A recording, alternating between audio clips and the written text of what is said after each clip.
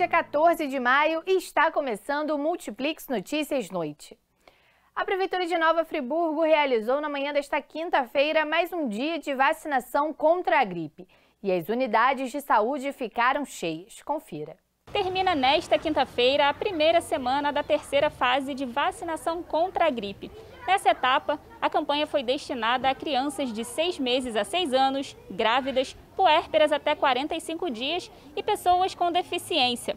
Nesta manhã, o posto Tunicaçuga em Olaria e o posto Silvio Henrique Brown no Suspiro estavam com grandes filas. Em outros dias de vacinação, servidores da saúde ajudavam a organizar essas filas, mas não foi o caso hoje, pelo menos quando visitamos esses locais de vacinação. Por isso, nem sempre a distância segura estava sendo respeitada. De acordo com a Prefeitura, até o início da semana foram aplicadas 51.964 doses. O objetivo é que cerca de 65 mil pessoas sejam vacinadas até o fim da campanha.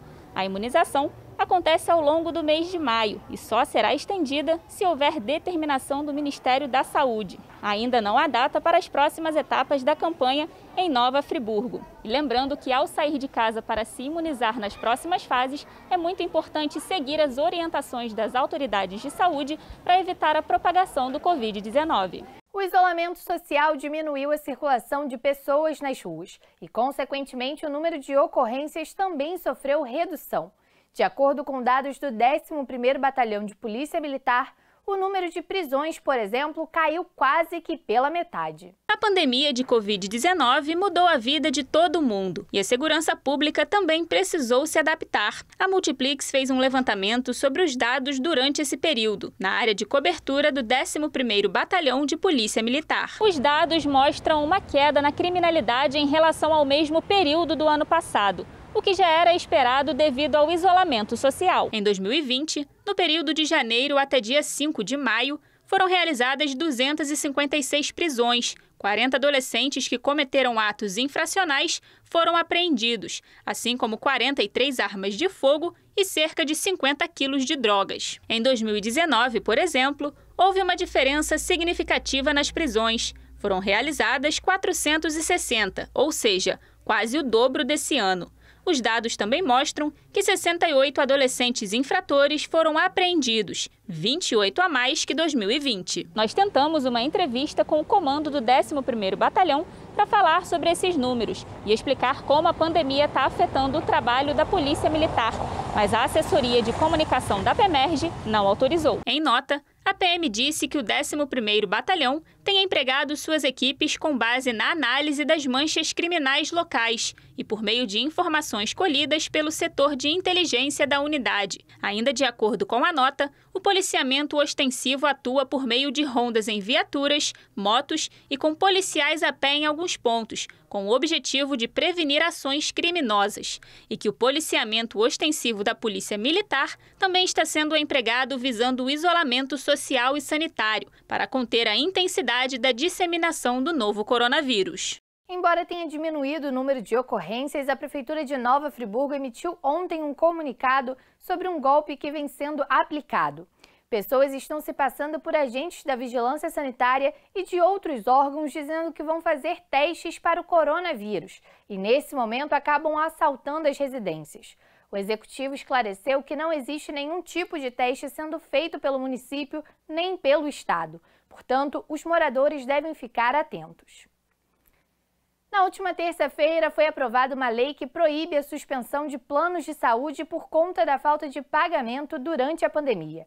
A repórter Maiara Gatim tem mais informações sobre a norma. Operadoras de planos de saúde não vão poder suspender os serviços por falta de pagamento no estado do Rio de Janeiro. É o que determina uma nova lei aprovada pela Alerj e sancionada pelo governador Wilson Witzel.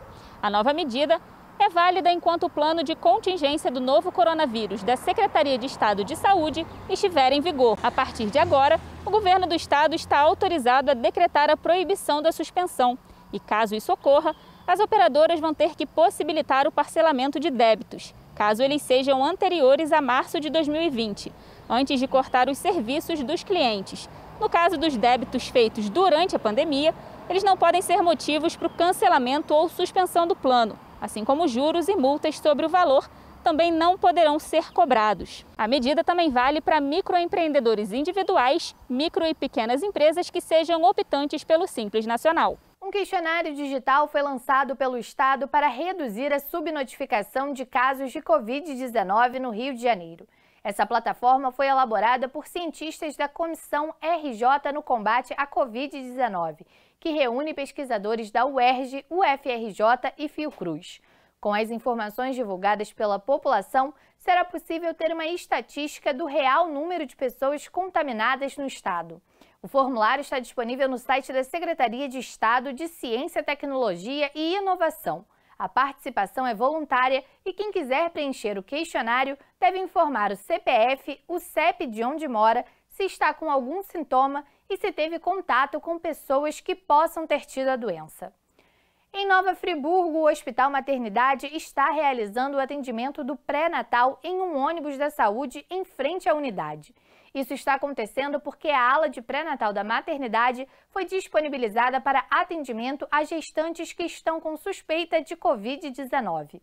Essa é uma forma de evitar que outras pacientes se exponham ao risco da doença.